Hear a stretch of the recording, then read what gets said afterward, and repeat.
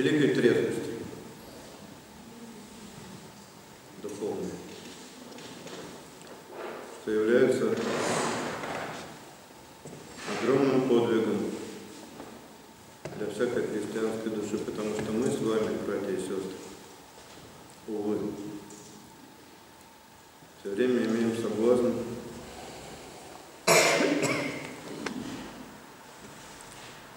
опьянения миром,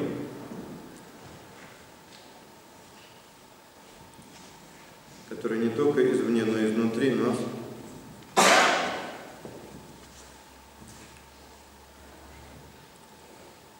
Действует с дерзкой и наглой властью, безвластной, впрочем, которой мы бездумно покоряемся и пьянеем, как вот эти самые делатели, о которых сегодня речь в Святом Евангелии, о домоправителе, который, владыке, который насадил виноград и ископал точилы, построил башню и оградил оградой. То есть Церковь Божия – это и есть огражденная оградой догматов заповедей, на недвижимом камне, который утвержден стол, благодати Божией. Но как трудно устоять тем, которых в эту ограду всадили. Крещением и верой. И поручили приносить плоды не себе, но Господу Богу, владыке своему, от этого виноградника. Что происходит? То, что дьявол вкладывает в умы и в сердца самолюбивых, гордых, страстных, то есть всех нас.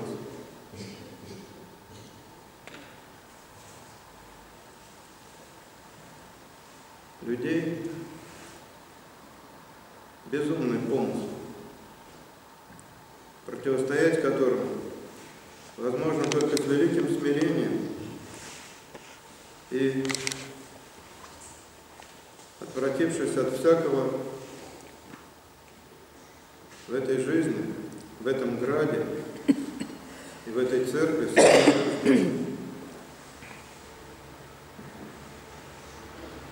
когда Господь посылает слуг своих принять от делателей плоды, безумные ового убивают, ового каменем побивают. И, наконец, усрамятся, говорит, владыка сына моего. Но они, увидевши сына, решат себе. И это мы читаем всегда на Страстной неделе. Все есть наследник. Убием его, и наследство будет наше. Откуда такое безумие? Я вам скажу, дорогие братья и сестры, что этим безумием продиктованы все революции, все реформации. И все совершенно иррациональные, безумные,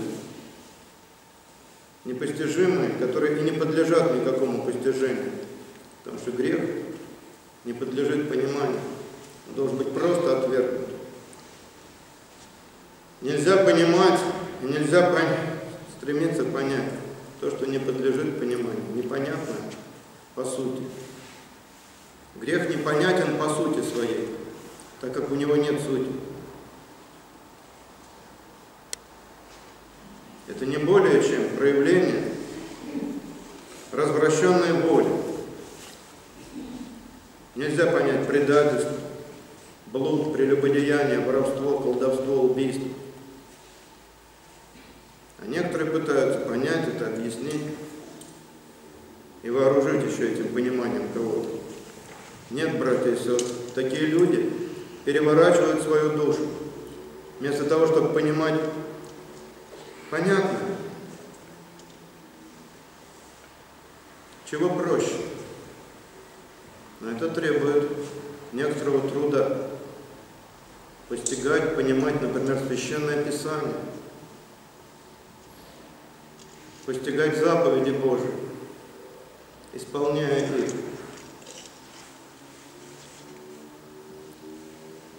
Постигать самый дух и самый смысл Евангелия.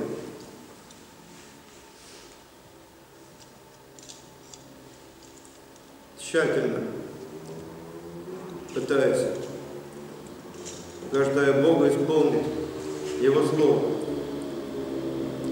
Заповедь, говорит моя Господь, легка, и иго мое благо. И вот это благое и легкое иго люди меняют на тяжкое, но сладкое иго,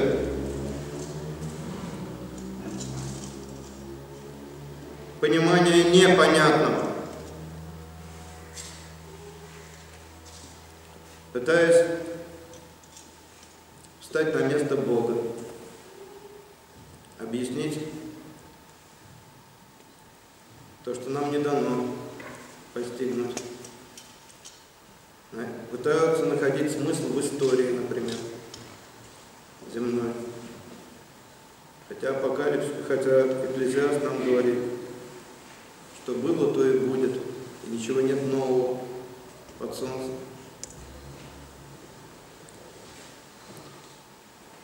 Пытаются вывести какие-то земные законы, например, марксизм или фрейдизм, или подобные гадости,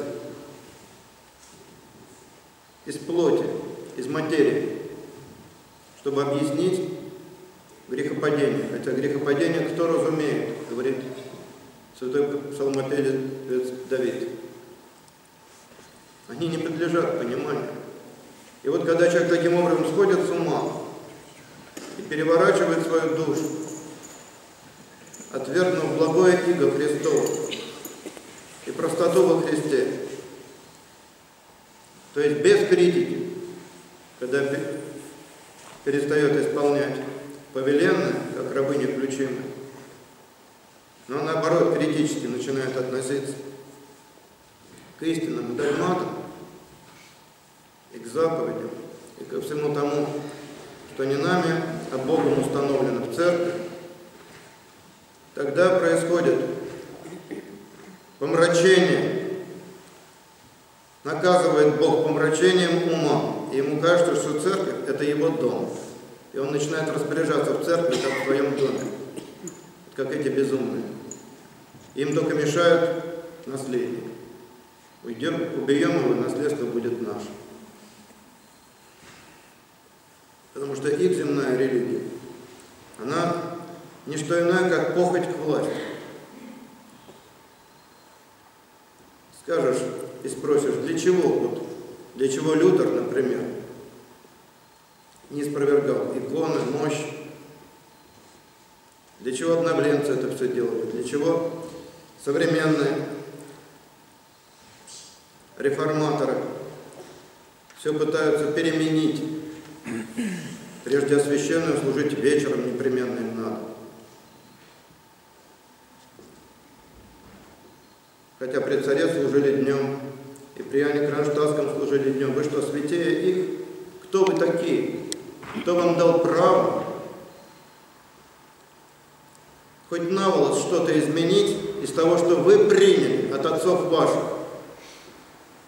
Ведь Духом Святым приняли. И не ваша забота, что тысячу лет назад было иначе. Тысячу лет назад было тысячу лет назад. Но люди, которые проецируют это тысячу лет назад на сегодняшний день, они совершают этот вот прыжок в ничто, воображаемый тысячу лет назад, который в действительности никто не видел и не знает, каково там было. Этот прыжок в никуда, который и совершают вот эти делатели, описанные в Евангелии. Убьем его, и наследство будет наше. Ну какое безумие! Однако же они тверды в этом безумии и непоколебимы. И в другом месте в Евангелии, знаю, говорит, что делать. Это уверенность страшная. Не, не переубедишь и не переговоришь такого человека. Разорю житница моя, и построю новое, и скажу душе моей, я ж пей веселись.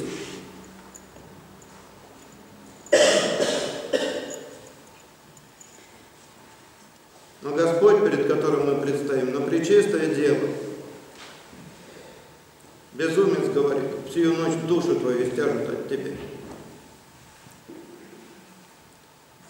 Вот это, дорогие братья и сестры, следствие, когда жизнь переносится первой единственной реальности перед Богом в эту кажущуюся вторую реальность.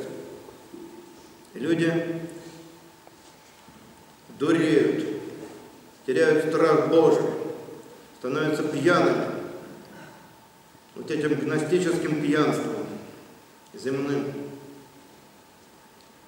Жизнь у них превращается в исполнение лозунгов.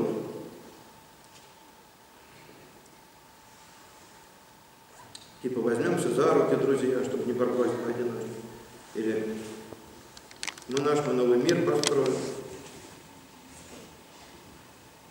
И неужели это продиктовано заботой о ближнем, например, об инвалидах или о человечестве страждущем, или о несчастной земле? О нет. Конечно же нет. До этого всего им нету дела. Это продиктовано только и исключительно вот этой инфернальной, адской волей к власти. Не верой, а волей к вере. Когда у человека нет веры, то человек атеист. спрашивают его, как в одном романе Достоевского, а в Бога веруете? И тот отвечает, я буду веровать в Бога. Вот это перед вами, в чистом виде. Вот этот вот земной помешанный. Вместо того, чтобы сказать, верую Господи, помози моему неверию. То есть сейчас и здесь, вот сейчас здесь застал Бог не сходя с этого места, скажи веру, и ты спасешься. Но как это трудно, это становится невозможно. Потому что человек вместо этого говорит, я буду. У него безумная вот эта его воля, его похоть, хотение, которое проецирует на весь мир на всех ближних своих.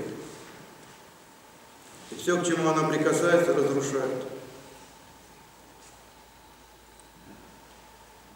Отсюда, братья и сестры, затопленные равнины нашей Родины ради вот этого безумия и порушенные судьбы.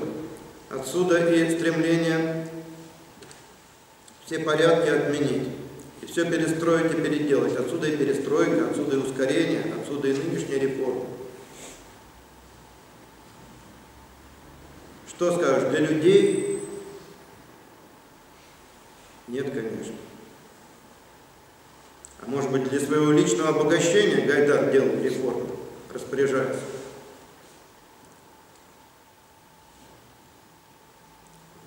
Не знаю. Но знаем, что реализовал вот эту похоть к власти своей, которая от его деда революционера, такого же, как он, который расстреливал невинных мужиков. И упаси Бог в церкви такого революционера встретить, которому все не мило, который не может от всего воротит нос. Записки, блины, все не по нему.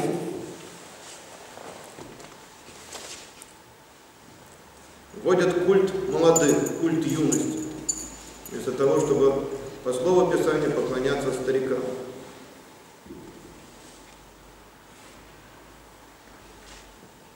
И все ради чего?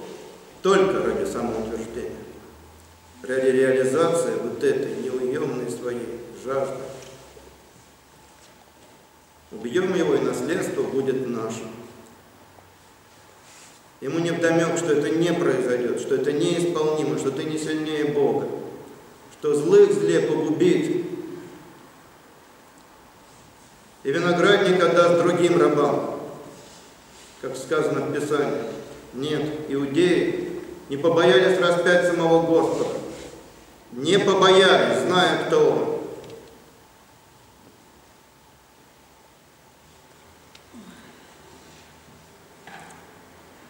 Что одно из двух, дорогие братья и сестры, либо страх Божий и трепет души, как сейчас перед вратами рая и перед адом развершимся.